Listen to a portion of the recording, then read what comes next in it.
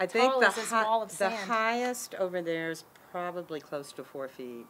And none of this was here before. Oh no, oh no, it was a beautiful yard. Jude Payne's backyard is no longer a place of gardening and lounging.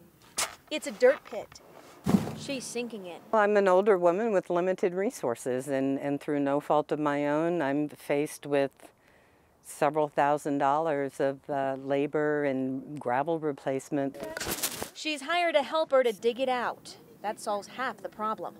Many of these homeowners near the petroglyphs are now wondering where is this dirt going to go? If somebody had reached out and offered some help. Payne says she was turned down by the city and National Park Service when she asked for help.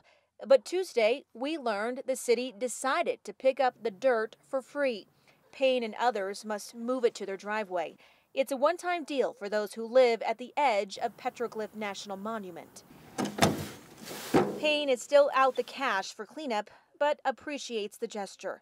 Now she and her buddies will wait for those crews to show up and haul off all that dirt.